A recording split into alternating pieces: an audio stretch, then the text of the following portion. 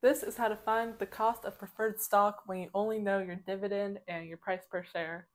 This is the formula we're going to use, and it's super simple. All you're going to do is take 8 divided by 71, and that's going to be 0.11267. So as you can see, we're dividing our dividend by our price per share. Then you're going to multiply that by 100. And then round it. So that's going to be 11.267. And then it's going to be a percentage, which is a little odd, but that's how it's denoted. There you go.